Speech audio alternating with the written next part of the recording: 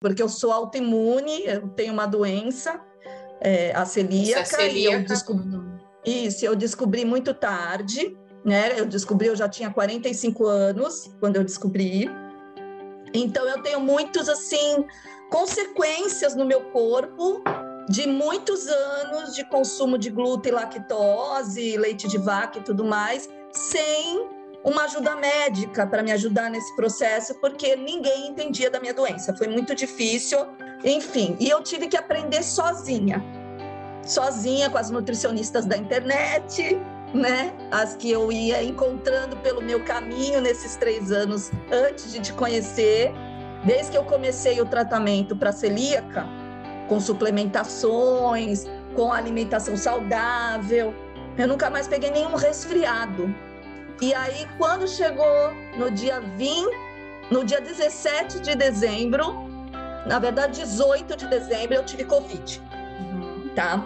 Eu tive Covid, aquilo que eu mais temia na minha vida, Aconteceu. desde que a pandemia começou, eu tive Covid em 17 de dezembro, em 18 de dezembro. Então eu tive Covid. Só que assim, Karina, para minha surpresa, eu fiquei doente só sete dias. Uhul! Sete dias. Eu não precisei de médicos do hospital. E olha que você tem uma doença autoimune. autoimune. Estamos falando de um assim, organismo que já tem o sistema imunológico ali, né? Que fica o tempo todo em alerta. Então você, for, você é de grupo de risco. A gente pode dizer sim, isso. Sim. E assim, é, foi, foi, uma, foi a maior prova que eu podia ter de que alimentação saudável, de que toda essa nutrição funcional funciona. Foi maravilhoso, porque foi uma surpresa para mim. E eu ainda cuidei dos meus pais, que, tá, que moram comigo, e tiveram, porque estão no mesmo lugar que eu, moram no mesmo ambiente que eu, né?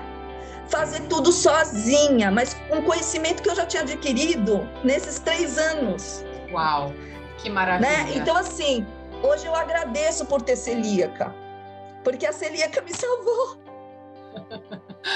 Ai, minha linda, que lindo esse depoimento. Olha, eu realmente fico muito é, agradecida de ouvir isso, emocionada também, porque é muito lindo. Eu, eu realmente fico muito, muito feliz que você esteja assim, né, radiante diante dessa convicção, porque você é uma prova viva de que isso é possível,